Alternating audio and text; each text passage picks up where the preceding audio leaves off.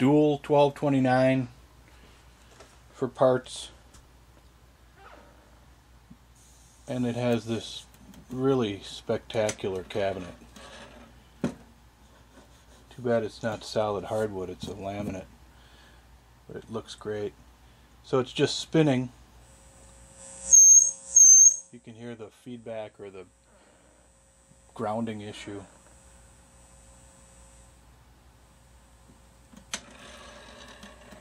Got an Audio Technica cartridge and stylus. The strobe light works.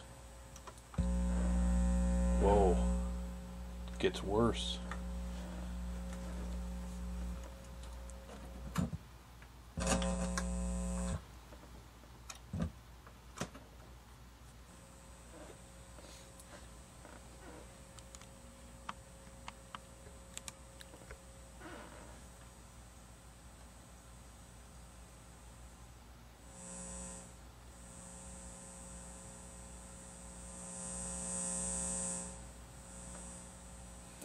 And the output is stopped altogether. It was playing, you know, I played with the cartridge a little bit, taking it off, putting it on. The nice thing about this package is that it's extremely clean. The brushed aluminum, the lettering is just perfect. Um, when you stop it, it does swing the arm over, but it doesn't stop spinning the platter. It operates at the right speed.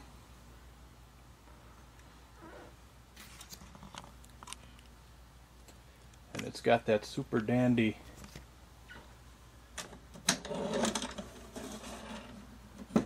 cabinet which of course makes shipping a lot more expensive than it otherwise would be but that's a real dandy cabinet